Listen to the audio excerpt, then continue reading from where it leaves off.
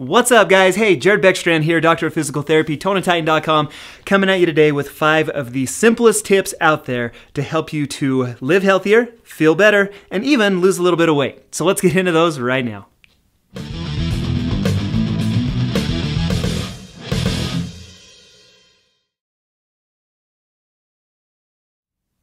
All right, guys. Hey, thank you so much for joining me today here on Tone and Tighten. I'm excited to be able to share with you a little bit of what I know about some of these health and fitness tips, some things that I've seen in my personal experience, also working with lots of clients through the years. I want to be able to share some tips with you guys that help you out. If you guys do like this, if you appreciate these tips, go ahead and hit that thumbs up button down below. Okay, let me tell you about two, uh, two scenarios that I frequently encounter in the health and fitness world. You guys tell me if you've ever been in one of these before.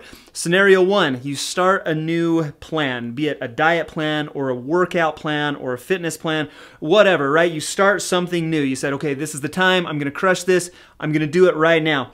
You start it, and maybe two or three weeks into it, you might not be seeing the results that you're after. You kind of start to slip in some of the things that you should be doing, and before you know it, after you know four, six, whatever, eight weeks, you're back to doing what you were before. You're off the plan, you're off the wagon. It just didn't work out. Okay, scenario one. Scenario two is how many of you who have, have ever said the words, maybe you're on a specific diet, and how many of you has, have said the phrase, I can't wait only two more weeks and my diet's over. Or, you know, this is the last week of my diet. Or I can't wait to eat blank when my diet is over. So there's two basically underlying themes. There's two underlying principles in each one of those things, and that principle is sustainability. Neither of those have any sustainability. Scenario one, um, you know, you're not seeing the results all of a sudden after a couple of weeks you're not really doing it anymore it wasn't a lifestyle change for you scenario two it's the same way i'm almost done with my diet as soon as my diet's over i'm going to jump back into what i was doing before that put me into this mess in the first place there's no sustainability behind those two things. Guys, in order to make a change, in order to make health, fitness, weight loss, whatever you want to call it, in order to make that work, it has to be a degree of change that you can stick to for an extended period of time. Ideally, you would never stop doing those things. They would become part of who you are. So those are actually the things that I wanted to share with you guys today. Again, five just incredibly simple tips, simple lifestyle changes that don't take a ton of time, they don't take a ton of effort, they don't take a ton of work. You can start to live a little healthier, you can start to feel a little better, and believe it or not, you guys, this is an incredibly effective weight loss program too. Whenever I work with clients, this, these five things that I'm going to share with you are always the things that we start with. These are always the things that actually yield some pretty amazing results. Okay, let me share them with you. Let's get into it. All right, tip number one give up refined sugar. You guys, this is a tough one because it's in everything. Basically, it's in all of your foods so that it tastes better, so that you eat more, so that you buy more. That's the whole premise behind adding so much sugar to our food. Did you know that the average woman only needs 20 grams of sugar per day? That's actually the recommended daily amount. Average males, we get a little bit more. We get 25 grams of sugar a day, you guys. I mean, there's like 20, there's more than 25 grams of sugar, even in like sodas and cakes and cookies and all these things that we eat on a daily basis. Our sugar intake has just gone crazy. And the thing is, when you eat sugar, if your body doesn't burn it off, it's going to actually store that extra sugar in your body as fat. And so the easiest thing that you can do, first and foremost, is give up sugar. I want you to go to your pantry. I want you to open your pantry. I want you to grab your cookies, your cakes, your brownies, uh, anything in there that has some of that refined sugar, those those no-no foods, you guys, those foods that you should not be eating, go ahead and chuck them in the garbage. You don't need them. Okay, here's the thing. After you throw them away, after you get them out of your house, don't buy any more. You guys, that's the that's the part right there. Don't even go down that aisle at the grocery store. Just don't even go there getting rid of that refined sugar. If there's none of it in your house, there's none of it in your diet. It's just as simple as that, you guys. It's just going to take a little bit of dedication, a little bit of willpower. Step number one, we're going to give up refined sugar and we're not going to get around that. We're going to eliminate that temptation. Get it out of your house and don't bring it back into your house. Tip number two, don't drink your calories. You guys, this means, and it's a hard one, I know, I'm gonna have you give up soda, including diet soda and alcoholic beverages. Here's the thing those calories are mindless. There's no sustenance to them, There's, they're liquid. They don't elicit what we'd call a, a stomach stretch reflex. When your stomach stretches, that's what tells your brain it's full. If your stomach never stretches, i.e., just drinking liquids, you're never going to get that satiety response in your brain. Your brain's never going to say, I'm full. That's why you can drink, I mean, what, 12, 36, 64 ounces of soda, you guys, it's brainless. And so what I need you to do is give up your, your sugary drinks, your soda, including diet soda, and your alcoholic beverages. Did you know that an average 12 ounce can of soda has 120 to 150 calories in it? It's crazy. The thing is, nobody just drinks 12 ounces of soda. That same 12 ounce can of soda has up to 40 grams of sugar in it, you guys. That's twice the daily allotment in a 12 ounce can. It's incredible how much sugar, how many calories they're packing into that drink, and really, you're getting no return on that investment. You're, well, I was gonna say you're not getting any energy. Not entirely true. You kind of get the sugar rush, sugar rush and then the sugar crash afterwards but there's no stretch reflex in your stomach, you guys. Just empty calories that you're drinking all day long. If you want to get healthier, if you want to live a little better, cut out the sugary drinks. What about diet soda, Jared? I know you guys are out there. Everyone's going to ask me, diet soda is good for me. There's no sugar in diet soda. There's no calories in diet soda.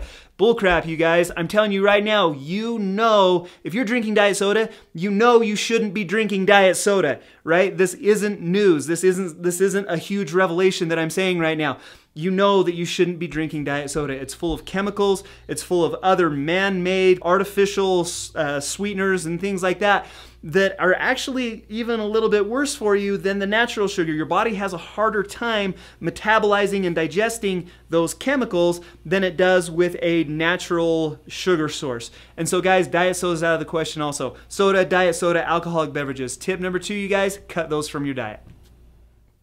Tip number three, I want you guys to get 30 minutes of activity every single day. I say every day because I'm shooting for the moon. Really, it's most days of the week. Four to five days a week is ideal, seven days a week is even better. Now, when I say activity, I don't mean that you have to put on your gym clothes and go to the gym and sweat and grind it out.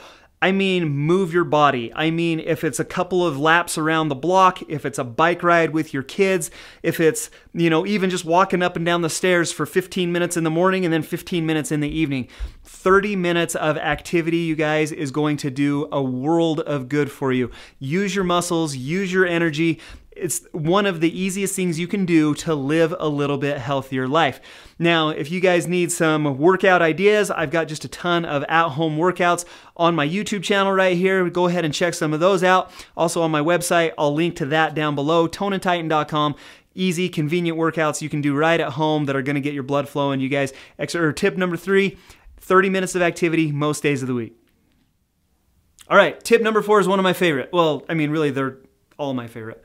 Tip number four is a good one, you guys. Stop eating after 9 p.m. This is incredibly simple. Just 9 o'clock rolls around, boom, stick the sign on the pantry, kitchen is closed, 9 o'clock p.m.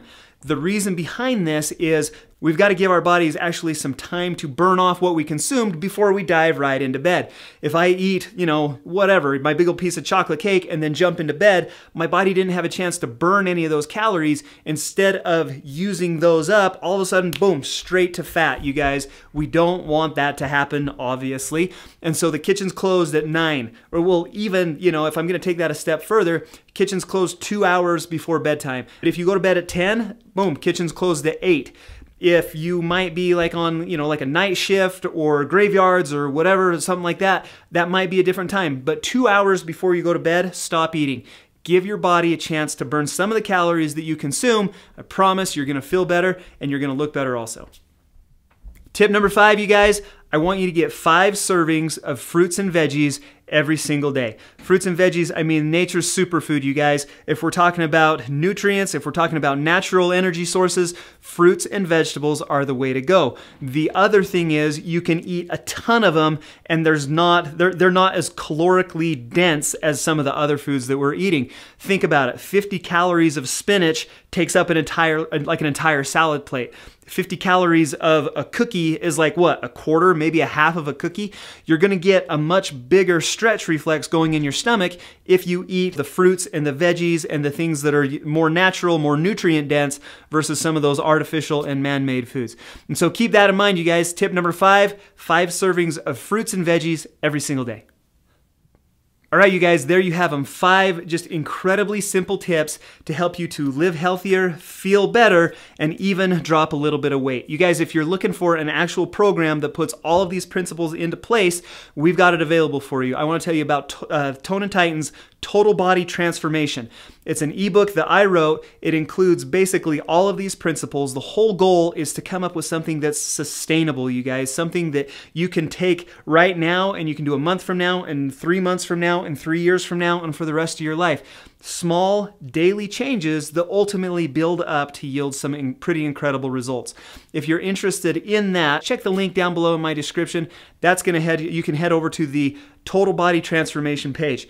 The other thing that I want to mention with this video is we actually open up a total body transformation challenge four times a year. We are going to help you with this. We're going to guide you through it. There's a private Facebook group where you have access to myself as well as my wife. You have accountability. You have the support of the other group members in there that are, I mean, not only holding you accountable, but cheering you on the whole way. And ultimately, the results with this, you guys, are pretty incredible. I've had people lose 5, 10, even up to 15 and 20 pounds in this 10 week time period just by abiding by these things that I've mentioned right here in this video.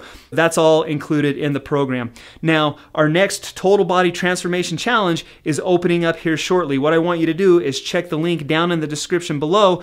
That's going to take you, it's a different link. So, I mean, you can get just the Total Body Transformation, just the ebook, or you can get participation in this challenge with us.